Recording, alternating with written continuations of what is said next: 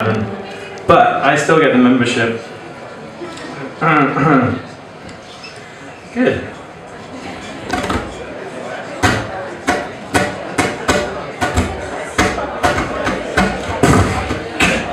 Could you imagine? Oh, the awful. Fucking awful. Um, what's that like? And if you want to buy, okay, good, good, all right. Still chatting up here. Shouldn't be doing that. Lonesome of the Night. Thank you very much. Enjoy the rest of your evening, folks.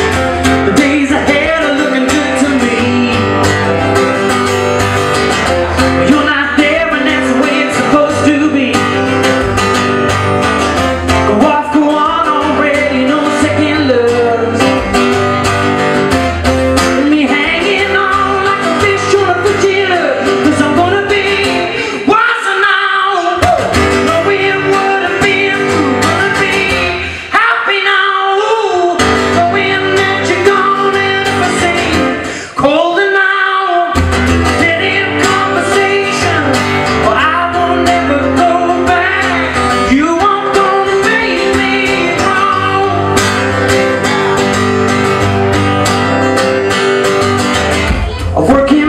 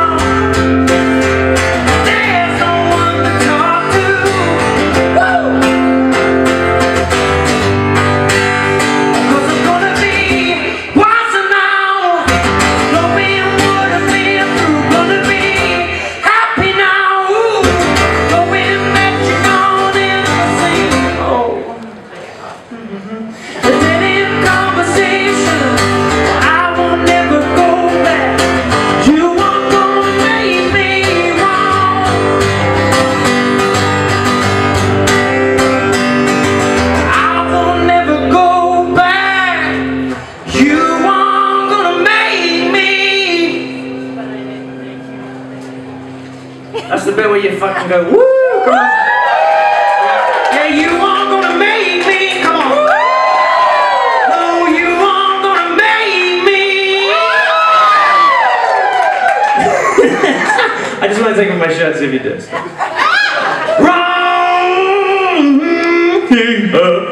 Thank you very much. Good night.